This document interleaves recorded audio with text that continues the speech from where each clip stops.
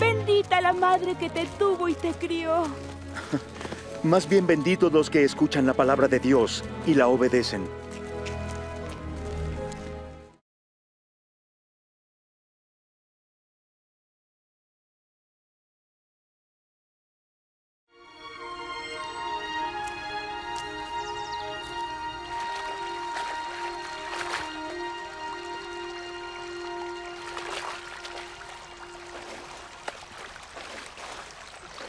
Señor, enséñanos a orar como Juan enseñó a sus discípulos. Cuando oren, digan, Padre nuestro que estás en el cielo, santificado sea tu nombre. Venga tu reino. Hágase tu voluntad en la tierra así como en el cielo. Danos el pan de cada día. Perdona nuestros pecados, así como nosotros perdonamos a los que nos ofenden. No nos dejes caer en tentación, y líbranos del mal.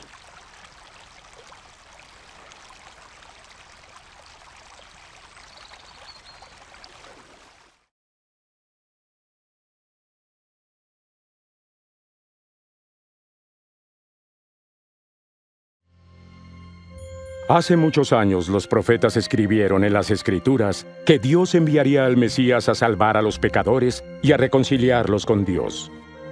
La vida de Jesús muestra que Él es ciertamente el Salvador que Dios prometió enviar a este mundo.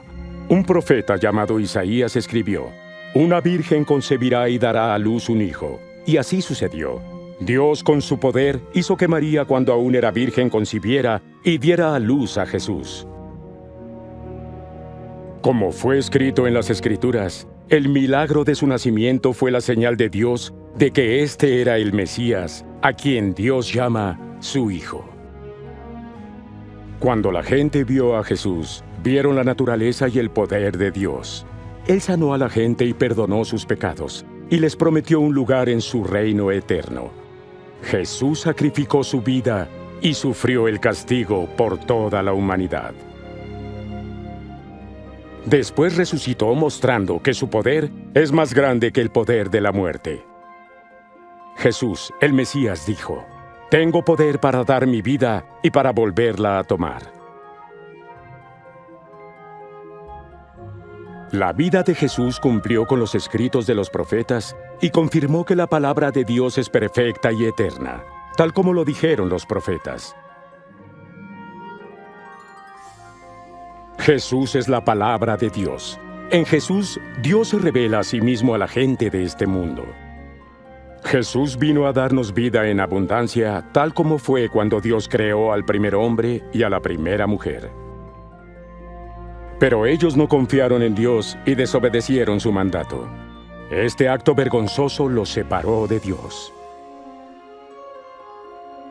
En las Escrituras está escrito, todos los seres humanos han pecado y el resultado del pecado es la muerte.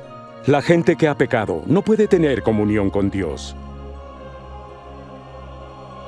Pero así como Dios proveyó un carnero para morir en lugar del hijo de Abraham, así Dios envió a Jesús a morir en lugar de los descendientes de Abraham. Hizo esto para que aquellos que crean y confíen en Jesús puedan entrar a la presencia de Dios.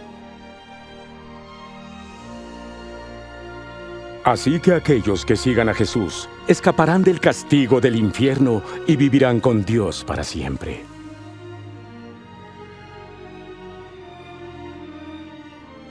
Cuando Jesús resucitó de entre los muertos, le dijo a sus seguidores, La gente declarará en mi nombre a todas las naciones que Dios perdona los pecados de aquellos que se arrepienten y vuelven a Dios. Jesús también dijo que enviaría al Espíritu Santo de Dios para estar con sus seguidores, para mostrarles la verdad y para darles poder para seguir el camino de Dios. Cuando la mujer pecadora se arrepintió y comenzó a seguir a Jesús, Él le dijo, Tus pecados te son perdonados, tu fe en mí te ha salvado. Jesús dijo que cuando la gente realmente ama a Dios, esto es evidencia de que Dios ha perdonado sus pecados.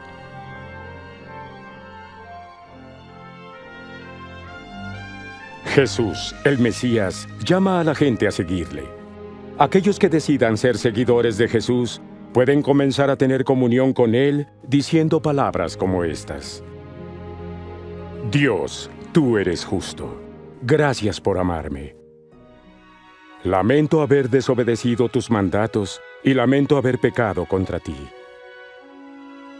Te doy gracias por enviar a Jesús a morir en la cruz en mi lugar y gracias porque resucitó de los muertos. Te doy gracias porque Él sufrió el castigo por los pecados que yo he cometido. Quiero seguir tu camino y acepto a Jesús como mi Salvador y Señor. Te doy gracias porque has perdonado mis pecados y has abierto el camino para que yo pueda un día estar contigo para siempre en tu reino.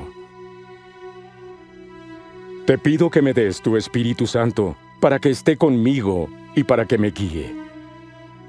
Te pido que me dé poder para amarte con todo mi corazón y para vivir una vida que te agrade. Y que toda la gente te alabe en todas partes del mundo. Amén.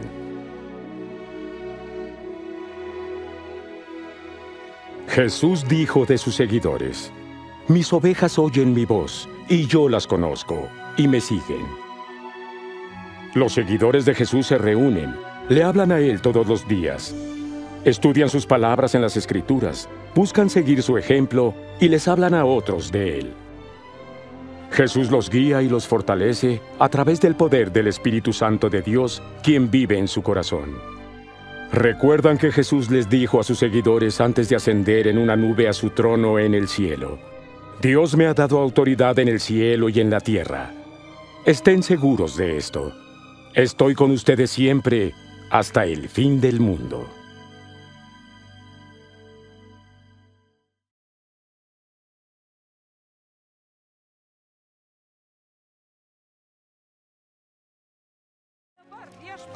Laiminga motina, kuri tave pagimdė ir žindė. Dar labiau palaiminti klausantieji Dievo žodžio ir jam paklūstantys.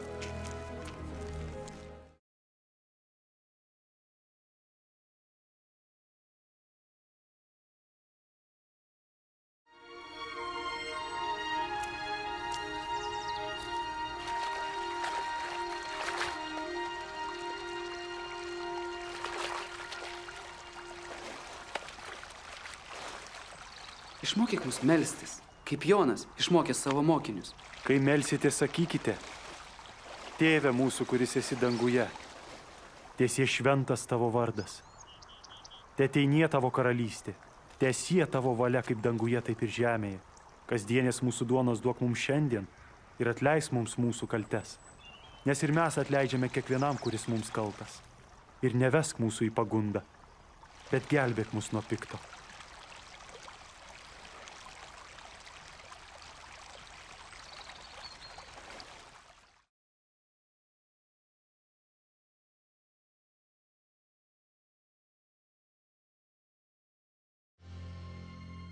Senovėje pranašai rašė, kad Dievas siūs Mesiją išgelbėti nusidėjėlių ir sutaikinti jų su Dievu. Jėzaus gyvenimas parodo, kad jis ir yra šis gelbėtojas. Pranašas vardu Izaijas pasakė, mergelė taps neščia ir pagimdys sūnų. Taip ir buvo. Dievas iš savo galios padarė Mariją nekaltą mergaitę neščią ir ji pagimdė Jėzų. Raštuose yra parašyta, kad jo gimimo stebuklas buvo Dievo ženklas, kad šis vaikas yra Mesijas, tas, kurį Dievas vadina savo sunumi.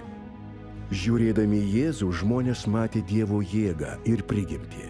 Jis gydė žmonės ir atleido jų nuodėmės, pažadėdamas vietą savo amžinoje karalystėje.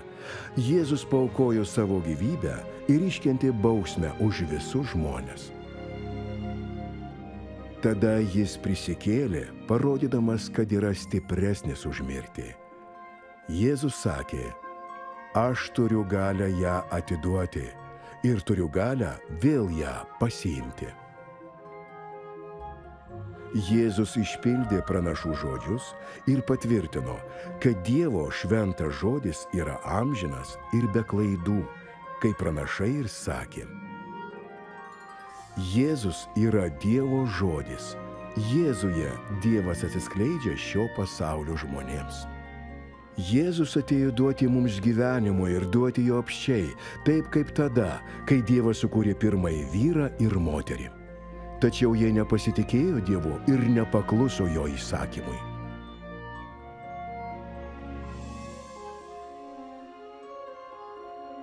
Raštuose parašyta, kad visi žmonės nusidėjo ir atpildas už nuodėmę yra mirtis.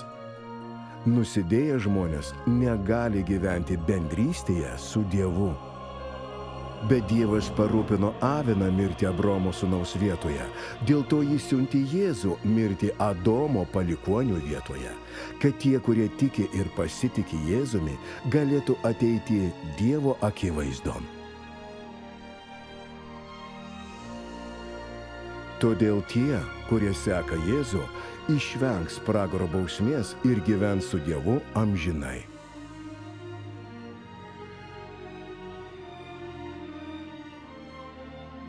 Prisikėlęs iš mirties, Jėzus savo sekėjams sakė, mano vardu žmonės skelbs visoms tautoms, kad Dievas atleidžia nuodėmės tų, kurie atgailaus ir atsisuks į jį. Jėzus taip pat sakė, kad jis jų šventąją dvasę, kad ši būtų su jo sekėjais, rodytų jiems tiesą ir įgalintų eiti Dievo keliais. Kai nusidėjusi moteris atgailavo ir ėmė sekti Jėzumi, jis pasakė, tavo nuodėmės atleistos, tavo tikėjimas manimi išgelbėjo tave. Bet kas gali būti išgelbėtas Dievo malonę per tikėjimą Jėzumi.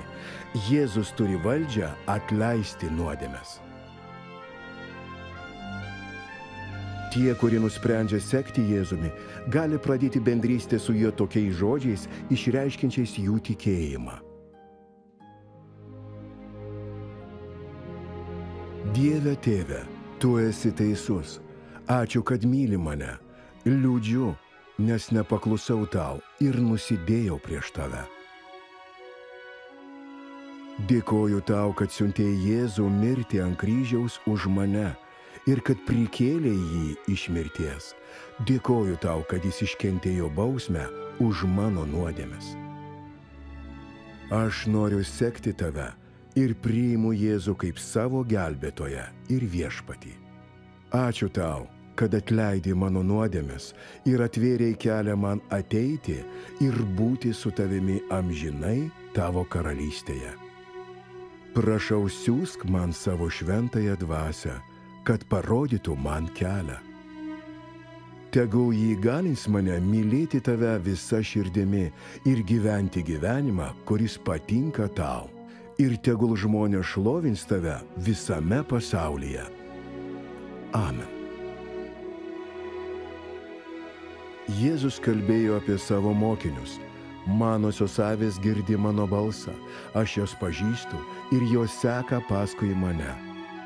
Jėzaus sekėjai susirenka kartu, jie kalba su juo kiekvieną dieną, studijuoja jo žodžius raštuose, seka jo pavyzdžių ir skelbia jį kitiems. Jėzus veda ir stiprina juos per Dievo dvasę, kuri gyvena jų širdyse. Jie prisimena, ką Jėzus sakė prieš pakildamas į savo sostą danguje man duota visa valdžia danguje ir žemėje. Ir štai aš esu su jumis per visas dienas iki pasaulio pabaigos.